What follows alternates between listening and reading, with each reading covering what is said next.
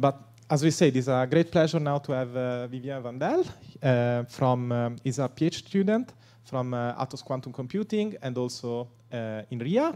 He's actually a PhD student of uh, Simon, who will be the third speaker of uh, this session. And uh, Vivien will tell us about uh, optimal Hadamard Gates count for uh, Clifford plus T gate synthesis of Pauli uh, rotation sequences. And so thank you very much for being here today, and uh, the floor is all yours. Thank you. So this is joint work with uh, Simon Martiel, Simon Perdrix, who is going to give a talk uh, just after me, and Christophe Vuillot. And first, I'm going to explain why we want to optimize the number of Hadamard gates uh, in our circuits. Okay, so if we have a Clifford plus T circuit, generally what we want to do is to optimize the number of T gates because the T gates are typically more expensive to implement than the Clifford gates. However, it has been shown that reducing the number of Hadamard gates can help with the optimization of the number of T gates. And also, the number of T gates in a Clifford plus T circuit can be optimized so that it is upper bounded by n plus 1 times n plus 2h divided by 2 plus 1, where n is the number of qubits and h is the number of internal Hadamard gates. And a Hadamard gate is said to be internal if it is in between the first and the last T gates of the circuit. So if we lower the number of internal Hadamard gates, then this upper bound will be lower, and we can expect better optimization in the number of T gates. And also, some T-count optimizers are using a measurement-based gadget to substitute the internal Hadamard gates in the circuit and to better optimize the number of T gates in the circuit. So here, these two circuits are equivalent, but in the second circuit, we don't have any Hadamard gates. Instead, we have a control Z gate and a measurement.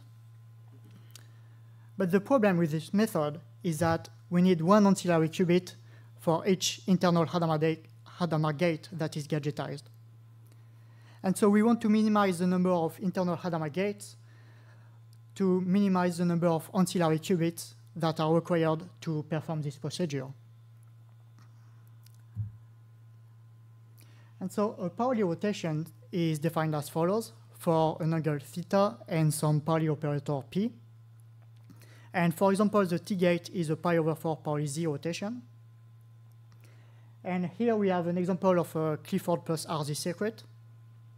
And because the angles don't really matter for the formulation of our problem, uh, I will just uh, draw the Pauli rotations by using green boxes like that uh, with the Pauli matrix inside the box. And a Pauli rotation can be on multiple qubits. So here we have Z, Y, X. And this is uh, an example of uh, implementation for this Pauli rotation. And of course, there exist multiple ways to implement a given Pauli rotation. And what we will want to do is to implement our Pauli rotations uh, with a minimal number of Hadamard gates. And because Clifford gates are mapping Pauli operators to other Pauli operators, we can show that every Clifford plus RZ circuit can be represented by a sequence of Pauli rotations followed by some Clifford circuit. So here, for example, what we can do is take the last CNOT gate of the circuit and pull, pull it through the last Pauli rotation. And this will modify our last Pauli rotation. We can do the same thing for the two Hadamard gates here. And then we take the CNOT gate and we propagate it to the end of the circuit. And each time we do that, we update our sequence of Pauli rotations. And if we do that for all the Clifford gates of the circuit, then we obtain this sequence of Pauli rotations, followed by this Clifford circuit. And so for the moment, we will just ignore this final Clifford operator, and we will try to implement this sequence of Pauli rotations with an optimal number of Hadamard gates. So what I mean by implementing a sequence of Pauli rotations is inserting some Clifford gates in the circuit so that each Pauli rotation is reduced to exactly one Pauli Z element. So here, for example, if we want to implement this sequence of Pauli rotations, then we insert some Clifford gates here in the circuit so that each, of the each one of the Pauli rotations is reduced to exactly one Pauli Z element. So the Pauli matrices can be encoded using two bits. So here we will use uh, this encoding. And by using this encoding, we can encode a sequence of Pauli products into a matrix of size 2m times m, where m is the number of Pauli products. And the upper part of our matrix will correspond to the first bit of our encoding, and the lower part of the matrix will correspond to the second bit of our encoding. So here, for, for example, the first Pauli rotation is y, z, y. So because we have a y on the first qubit, we will put a 1 on the first column on the first row of, of the matrix, and we also put a 1 on the first row of the lower part of the matrix. Then we have a z on the second qubit, so we put a 1 on the second row, and we put a 0 on the second row of the lower part of the matrix. And then we have a y again, so it will be a 1 and a 1.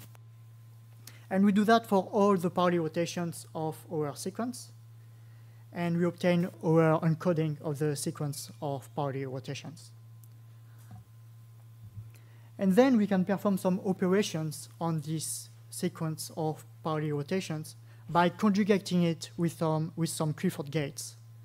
So for example, here we can conjugate this sequence of Pauli rotations with a CNOT gate between the first and the second qubit.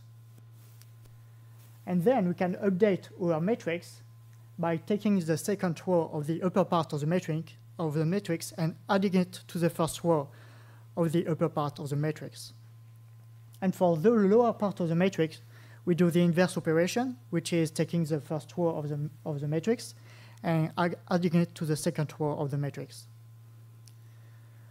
For the S gate, we simply take the row of the lower part of the matrix and we add it to the row of the upper part of the matrix. And for the Hadamard gate, we simply swap the, the two rows. So a Pauli rotation is said to be diagonal if all its elements are Pauli Z matrices. And a Pauli rotation which is diagonal can be implementing, uh, implemented using only CNOT gates. So for example, here in this circuit, all the Pauli rotations are diagonal. So what we can do is insert only CNOT gates in the circuit to finish the implementations of our sequence of Pauli rotations. And a circuit in, in which all the Pauli rotations are diagonal is called a diagonalization network. So here, for example, if we want to construct a diagonalization network for this sequence of Pauli rotations, then we insert some Clifford gates in the circuit so that each Pauli rotation is diagonal. And once we have a diagonalization network, then we don't need to insert any other Hadamard gate to finish the implementation of our sequence of Pauli rotations. So the goal is to construct a, a diagonalization network with a minimal number of Hadamard gates. And so here is the plan. First, I will present an algorithm to construct a diagonalization network for a given sequence of Pauli rotations. Then we will see that this algorithm is optimal in the case where all the Pauli rotations are mutually commuting. And for this simple case, I will even show the proof. Then we will see how this result can be extended in, for the case where some Pauli rotations are anti-commuting. And this is optimal for the number of Hadamard gates. But we will see that this algorithm can also be used to get an optimal number of internal Hadamard gates, which is the number of Hadamard gates that are in between the first and the last non-Clifford gates of the circuit. And finally, we will see how we can implement a Clifford operator with an optimal number of Hadamard gates. And all of these results are based on the same very simple algorithm that I will uh, present now. So the algorithm takes as input a sequence of Pauli rotations, and it will iterate through all the Pauli rotations. And if the Pauli rotation is not diagonal, then it will diagonalize it using only one Hadamard gate, and it would go on to the next Pauli rotation. So here, for example, the first Pauli rotation is not diagonal. So first, what you can do is insert some CNOT gates in the circuit so that the first column of the lower part of the matrix is as a Hamming weight which is equal to 1. And then we can apply a Hadamard gate here on the first qubit, and it will diagonalize our Pauli rotation. Then we remove the Pauli rotation from the matrix, and we go on to the next Pauli rotation. So the second Pauli rotation is also not diagonal. So this time, we insert a CNOT gate between the first and the last qubit of the circuit. And then this time we have a Y and not an X on the first qubit. So we need to insert an S gate before inserting the Hadamard gate. And this will diagonalize our Pauli rotation. And when we go on to the, to the last Pauli rotation, it is already diagonal, so we don't need to, to do anything. We can just remove the Pauli rotation for the matrix. And then the matrix is empty, so we are done and we obtain uh, a diagonalization network for our sequence of Pauli rotations.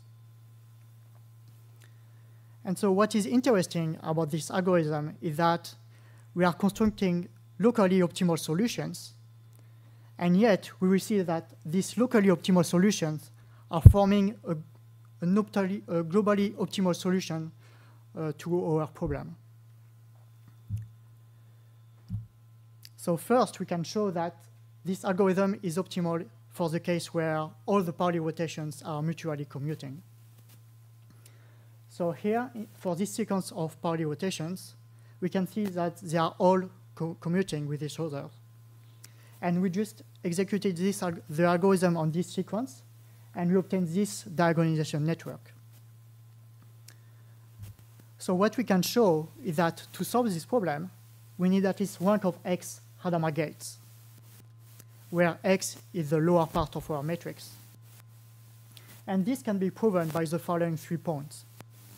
So first, we can notice that the only gate that can lower by at most one the rank of X is the Hadamard gate. And also, if a Clifford circuit C is an optimal solution to our problem, then all the Pauli rotations are diagonalized by C. And if all the Pauli rotations are diagonalized, then it means that the rank of x must be equal to 0. So the rank of x must be equal to 0 at the end, and, and the only way to lower the rank of x by 1 is by applying Hadamard gates. So we will need at least rank of x Hadamard gates to solve this problem. Then what we can show is that our algorithm creates, constructs a circuit in which the number of Hadamard gates is exactly equal to the rank of the matrix X. And this is optimal because we just saw that we need at least rank of X Hadamard gates to solve this problem. So for example, here, for this sequence of Pauli rotations, we can, we can check that the rank of X is equal to 2. And, and so that's why we have two Hadamard gates in the circuit. All right, so this was for the simple case where all the Pauli rotations are mutually commuting. But now, for the more general case, we can have some Pauli rotations which, which are anti-commuting. And so this is the diagonalization network synthesis problem. And to solve this problem, first we define what we call the commutativity matrix, which is a strictly upper triangular Boolean matrix of size m times m where m is the number of Pauli rotations. And Aij will be equal to 0 if the Pauli rotation encoded by the column number i is commuting with the Pauli rotation encoding with the column number j. And otherwise, the two Pauli rotations are anti-commuting, and so Aij will be equal to 1. So here, for example, the first Pauli rotation is anti-commuting with the second Pauli rotation.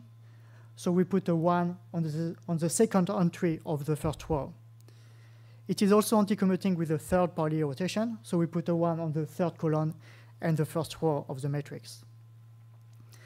And the first Pauli rotation is commuting with the last Pauli rotation, so we put a zero on the last entry of the first row. And we do that for all the pairs of our sequence of Pauli rotations to construct the commutativity matrix. And then what we can show is that the algorithm that we saw earlier is actually solving this problem optimally. And moreover, what we can prove is that the number of Hadamard gates in the circuit will be exactly equal to the rank of the matrix, of the matrix X concatenated with the matrix A. So here, for example, the rank of the matrix X concatenated with the matrix A is equal to 2. And so when we execute our algorithm on this sequence of Pauli rotations, then we obtain a circuit which will contain exactly two Hadamard gates.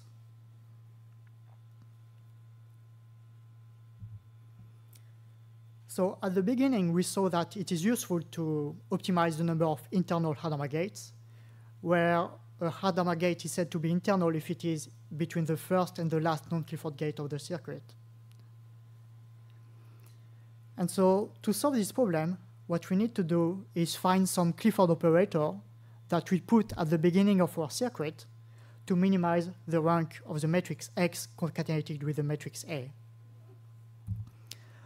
So for example, if we execute our diagonalization network synthesis algorithm on this sequence of Pauli rotations, then we would get two internal Hadamard gates.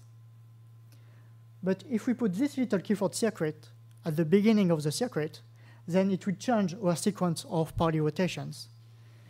And this time, the rank of the matrix of the matrix X concatenated with A will be equal to 1. So we would have only one internal Hadamard gate. And this is optimal because the rank of A is equal to 1. And we cannot change the rank of the matrix A. And so what we found out is that if we take the if we execute our algorithm on the reversed sequence of Pauli rotations, then the Clifford operator that we get is exactly the Clifford operator that we want to put at the beginning of our circuit to minimize the rank of the matrix. So for example, let's say that we want to implement this sequence of Pauli rotations with an optimal number of internal Hadamard gates. That, then what we do first is we take the reverse sequence of Pauli rotations and we execute the, the diagonalization network synthesis algorithm on this reverse sequence of Pauli rotations. Then we remove all the Pauli rotation from the, from the circuit, and we get this Clifford circuit that we put at the beginning of the circuit. And then we execute a second time our diagonalization network synthesis algorithm on this updated sequence of Pauli rotations. And what we get is a diagonalization network with an optimal number of internal Hadamard gates. And moreover, what we can prove is that the number of internal Hadamard gates in the circuit will always be equal to the rank of the matrix A, which is the commutativity matrix. And so here we have a diagonalization network with an optimal number of internal Hadamard gates. But we can see that the number of Hadamard gates in the circuit is not optimal because here the first Clifford operator is not implemented with an optimal number of Hadamard gates. This can be seen on the first qubit, which has two adjacent Hadamard gates. So if we want both an optimal number of internal Hadamard gates and an optimal number of Hadamard gates, what we can do is we can use an algorithm that can implement a Clifford operator with an optimal number of Hadamard gates. And actually, we can also do that with our algorithm. Because the Clifford operator can be represented by a, by a set of Pauli operators. And there is a subset of these Pauli operators, which are called the stabilizer generators. And we can show that if all the stabilizer generators are diagonal, then we can implement the Clifford operator without using any Hadamard gates.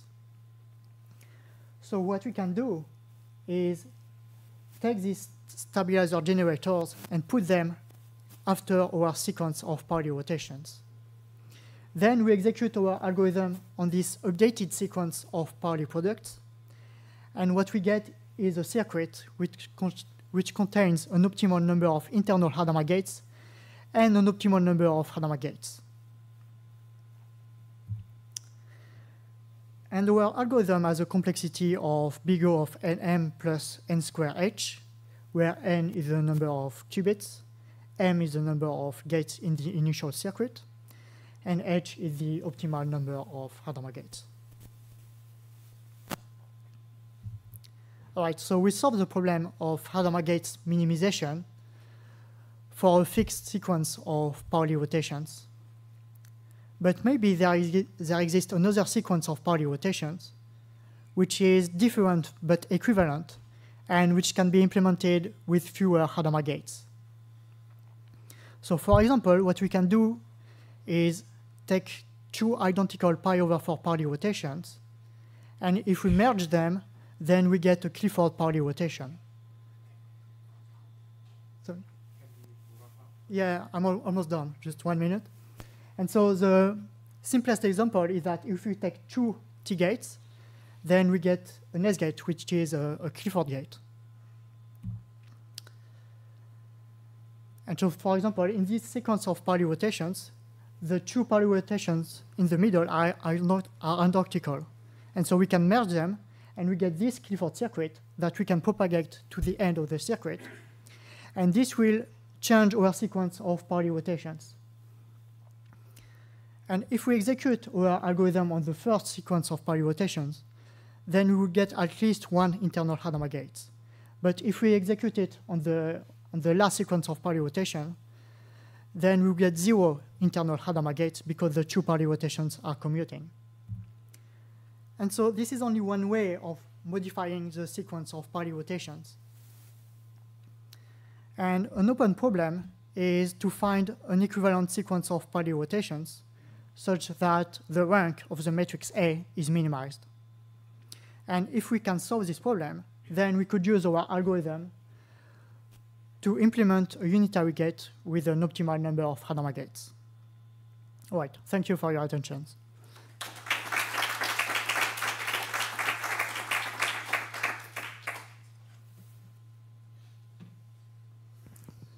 Thank you very much, Vivien, for uh, your uh, very interesting talk. Uh, are there questions?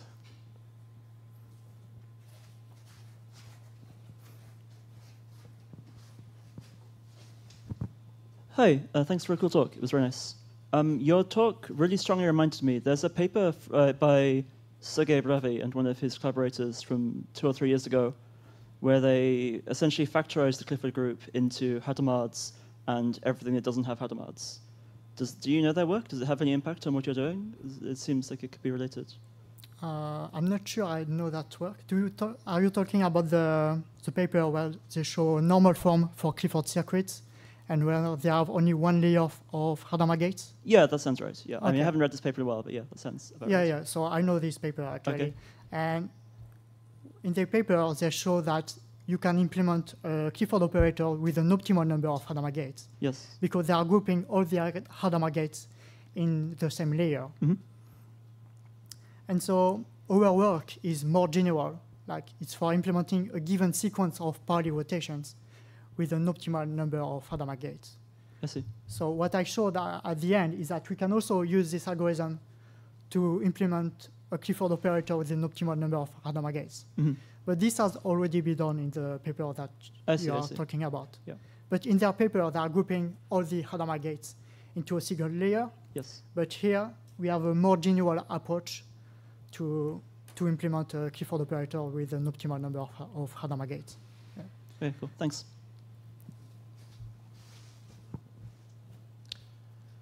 Other questions from the audience?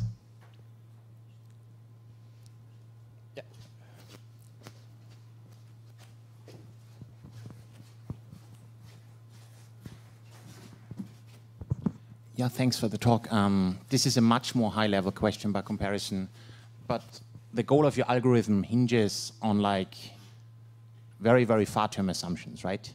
Like minimizing the number of Hadamard gates in a circuit is very specific and only makes sense if you really have fault-tolerant quantum computers where the T gates are a bit more expensive. Do you think that a similar project would work for other gate sets and other assumptions? Because until we have fault tolerance, you are going to make the circuits much more difficult to implement actually. Yes, of course. So yeah, this work is mostly motivated for fault-tolerant quantum computing. And so this work not, not only for T-gates, but for any Clifford plus RZ circuit. And so another motivation can be to parallelize a given quantum circuit, because if you have fewer Hadamard gates, then you can use this gadgetization procedure, and then you can parallelize your quantum circuit better. So this could be another uh, application. But apart from that, I think this is more for fault-tolerant quantum computing. Yes.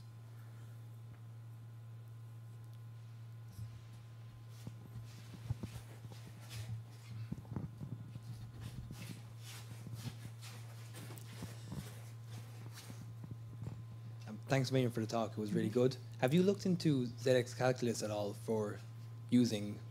they could be very helpful for a lot of the um, kind of calculations you're doing. Have you looked into it for applications in this paper or? Uh, yes, but what do you want to use ZX calculus for exactly in this work? It just seems like very handy formalism. And Okay. my follow up was going to be, uh, what would a circuit look like, a di- fully diagonalized circuit in ZX Calculus? Oh. Would that be all? Yeah, so actually we can also write this uh, Clifford, uh, these uh, Pauli rotations in ZX calculus. There are a lot of papers that are doing it. And yeah, if they are all diagonal, then it means that we have only Z in the, in the box here. Yeah, so I imagine that would So- be very easy to simplify then if it was all. Yes, so we get a nice representation in ZX calculus, yes. But it's just a different representation. It's, it's not better or worse. yeah. All right, fair enough, yeah. Thanks. Yeah, maybe I can also sneak in a question. Yes. So uh, you targeted the Hadamard gate as the costly gate, but uh, also in terms of indeed noise, uh, etc. Uh, sometimes there is like a generating gate, which is the most noisiest, so that experimentalists want to avoid. Is maybe indeed would be mm, uh, possible to transfer this this analysis to at least other generators of the Clifford in order to reduce that, the most noisy gate, for instance, and so that it doesn't appear so, so often in the circuit. So this work is only for optimizing the number of Hadamard gates. Mhm. And yeah, this can increase the CNOT gates, for example. So if we want to still have an optimal number of Hadamard gates, but also optimize the other Clifford gates, like the CNOT gate, uh, what you can do is once our algorithm has been executed, we can apply some other CNOT count optimizers on some, on, on some part of the circuit to optimize the number of CNOT gates, for example. And so that, does that answer your question? Or? Yeah, so how much your analysis can be transferred somehow, or how much is tied to the Hadamard, or so that's this is somehow uh, another way to pose the question. But uh, yeah, indeed, seems this was answered. Okay, yes, Uh, because I don't think this is, again, uh, this is more for fault-tolerant quantum computing. So if you want to optimize the, generally for NISQ, for example, you don't want to optimize the number of Hadamard gates. You will more likely want to optimize the number of CNOT gates. And this work is not so good for optimizing the number of CNOT gates, for example, yes. But if you, the, the main motivation is to optimize the number of T gates. And if you perform uh, some T count optimizer after the number of CNOT gates will increase anyway. So uh, if you're optimizing the number of T gates, I think it's better to always optimize the number of Hadamard gates before. Yes. All right, thank you very much. I Thank you. think now uh, we don't have additional time for additional questions, but we can of course continue during the break. But let us thank Vivien once, uh, once again.